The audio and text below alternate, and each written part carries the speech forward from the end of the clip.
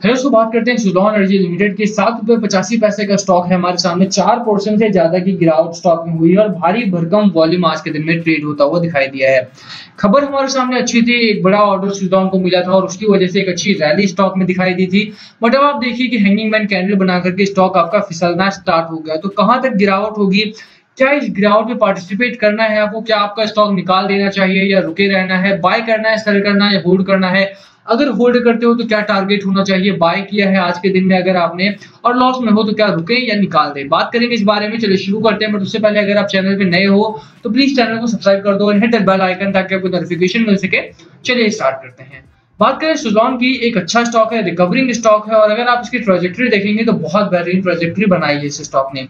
लगातार एक अच्छे वॉल्यूम के साथ ट्रेड कर रहा था, लगातार एक अच्छी तेज़ी में था स्टॉक हमारा। अब यहाँ पर हैंगिंग मैन कैंडल बना करके फिसला है। डिमांड है। डिमांड बहुत अच्छी है यहाँ पर। खरीद हो रही है। बहुत अच्छी खरीदारी है यहाँ पर। बट बाज़ार अगर सपोर्ट नहीं करता है तो छोटे स्टॉक इसी तरह से फिसलते हुए दिखाई देते हैं। कुछ खबरें हैं हमारे सामने। सबसे पहले बात करते हैं जो तेज़ी आई थी, उसके पीछे का कारण क्या था। आप इस पॉइंट से देखिए, यहाँ से बहुत अच्छा स्टॉक भागा हमारा। यहाँ पर किसी ने खरीदारी की होती four point seven five rupees का स्टॉक था हमारे सामने। और बाय सिग्नल यहाँ पर आया था। मैंने आपको यहाँ पर भी बाय करने के लिए बोला था। यहाँ पर भी निकाला होता, आपने तो बहुत अच्छा प्रॉफिट आपने बना लिया होता। ओवरऑल खरीदारी करने का दूसरा मौका आपके सामने यहाँ पर आया।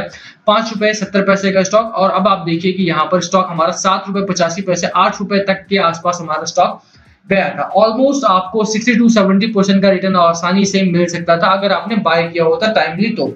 ओवरऑल स्टॉक अच्छा है, खरीदारी करने की सलाह मेरी पहले भी थी, अभी भी है। इस समय पर क्या करना है, क्या नहीं, उसकी बात करते हैं। सबसे पहले बात करते हैं खबर की कि स्टॉक हमारा भागा क्यों था। ये खबर आई थी हमारे सामने। Shares of Suzlon energy surged as much as 10% on Wednesday after the company bagged an order from CLP India to develop a 252 megawatt wind power project at Siddipur in Gujarat, Siddhpur, Gujarat में दो megawatt का wind power project बनाने का एक बड़ा order सुलॉन को मिला था। मैंने पहले भी सुलॉन की कहानी बताई है आपको, और सुलॉन की कहानी सिंपल यही कहती है कि अगर ये स्टॉक आप रुकते हैं इस स्टॉक में तो ये आपको प्रीवियस लेवल्स पर लेकर के जाएगा, जो कि काफ़ी हाइयर था डेढ़ सौ दो सौ रुपए तक भी जाने का पोटेंशियल इस स्टॉक में है।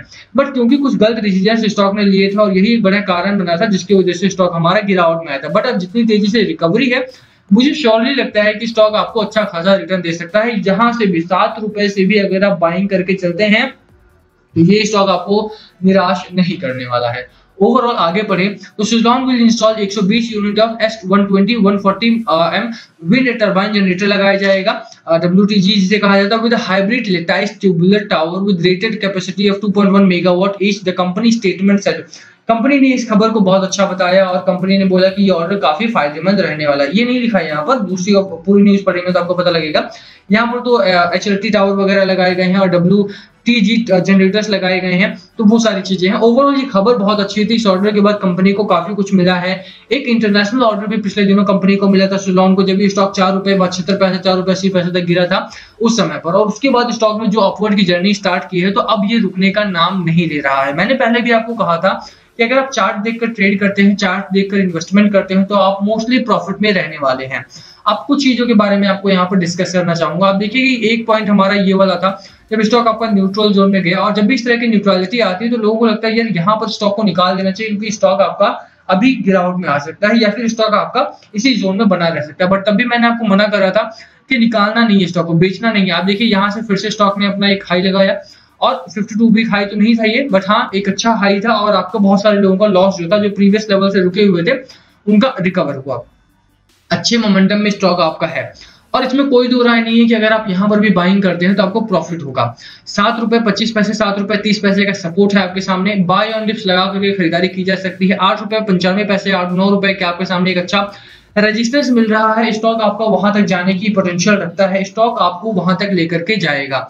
इसी ट्रोजेक्ट्री में रहने वाला है। बहुत ज़्यादा गिरावट की संभावना स्टॉक में इस समय पर नहीं है क्योंकि डिमांड बहुत अच्छी है स्टॉक में। और अगर बाज़ार आपको सपोर्ट करता है, बाज़ार स्टॉक को सपोर्ट करता है सुजान मुझे लगता है कि इस महीने के एंड तक नौ रुपए का हाई लगा देगा, क्योंकि बाज़ार में ना एक मोमेंटम बना हुआ है, एक अभी एक सेंटिमेंट जो है वो सुधरे हैं सुजान को लेकर के, और उसी का फ़ायदा आपको मिल सकता है यहाँ पर, अगर आप खरीदारी करके चलते हैं। तो खरीदारी कितनी करनी है, कब करनी है, वो बात करेंगे, अभी हम बात करें करनी है या नहीं करनी है। आरएसआई की बात करें 67 का आरएसआई है ओवरबॉट जोन से बाहर है। मैगडी की बात करें, मैगडी हिस्टोग्राम हमारे अपर साइड बन रहे हैं। ओवरऑल सिचुएशन जो है वो अंडर कंट्रोल है। बाइंग चार्ट पैटर्न है, खरीदारी करने की मेरी सलाह भी है। बाय ऑन डिप्स के साथ ही खरीदारी करनी है। गिरावट होगी, इसमें कोई दो राय नहीं। सात रुपए पच्चीस पैसे, सात रुपए तीस पैसे तक की गिरावट होती है। तो आपको थोड़ा नुकसान हो सकता है जिस लेवल पर अभी है। क्योंकि छोटा स्टॉक में तो आपको पाँच पाँच पैसे के बीच में भी थोड़ा सा मारामारी करनी पड़ेगी यहाँ पर। स्टॉक अच्छा है डिमांड अच्छी है, यहाँ पर स्टॉक आपको धोखा नहीं देने वाला है। गिरावट हुई थी क्योंकि सेबी को लगा था, यार, इतनी जल्दी कैसे भाग रहा है? वहाँ पर उन्होंने ऑर्डर बिठा दिया। तो लोगों को लगा कि जो सुलॉन है वो दोबारा गिरावट में आएगा और लोगों ने पैनिक सेलिंग स्टार्ट कर दी थी। यही एक बड़ा कारण था जिसकी वजह से बिकवाली स्टार्ट हुई थी। ओवरऑल जो अभी भी सिचुएशन है, वो थोड़ी सी फेवरेबल है।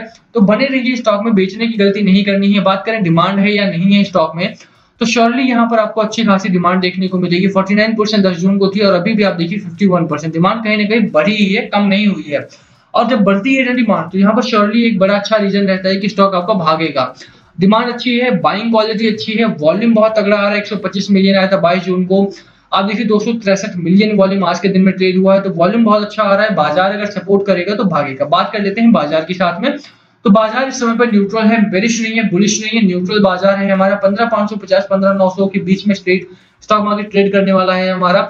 बने रहिए बाज़ार को लेकर के। देखिए पिछले हफ़्ते बहुत सारी बड़ी खबरें आई थी हमारे सामने।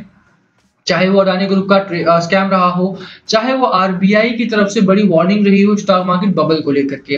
तो इस समय पर जो स्ट्रेटजी है डीआईआई की एफआईआई की, वो यही है कि स्टॉक मार्केट को कुछ दिनों के लिए न्यूट्रल जोन में रखा जाए, ताकि थोड़ा सा जो ये जो नए इन्वेस्टर होते हैं, जिनको लगता है कि पैसा लगाओ और पैसा कमाओ, उन लोगों को थोड़ा सा सीखने का मौका मिल सके इस समय पर कि मार्केट की चाल किस तरह से रहती है।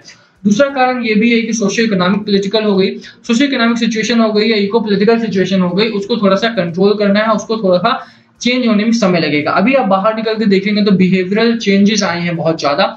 ऐसे में मार्केट को भी वो चेंजेस अडेप्ट करने पड़ेंगे। मार्केट को भी उसी तरह से प्ले ऑफ़ करना पड़ेगा।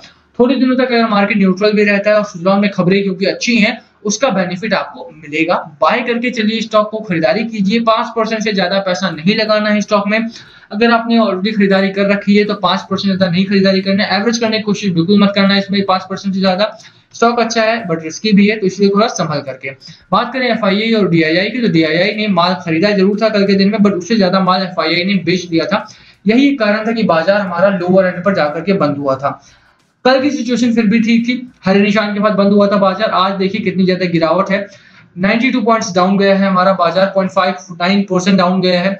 तो ओवरऑल जो सिचुएशन है वो थोड़ी सी आउट ऑफ़ कंट्रोल तो नहीं कहूँगा मैं यहाँ पर बट हाँ थोड़ा सा रिस्की ज़रूर है। तो बने रहिए बाज़ार में नई खरीदारी करने से पहले सोचे कितना पैसा लगाना है, इस बारे में ज़रूर डिसाइड करें। मेरा मानना है पाँच percent risky investment ten percent safest तो थोड़ा सा आप वरायटी में लगाएँगे पैसा तो ज़्यादा बेहतर रहेगा। बाकी क्या है आपकी स्ट्रेटजी सुझाव को लेकर के प्लीज़ कमेंट करके बताना। वीडियो यहीं खत्म करते हैं। पसंद आई तो लाइक करना। चैनल पर नए हो तो सब्सक्राइब किए बिना मत जाना। Thank you for watching and please comment below अगर कुछ पूछना हो तो। Thank you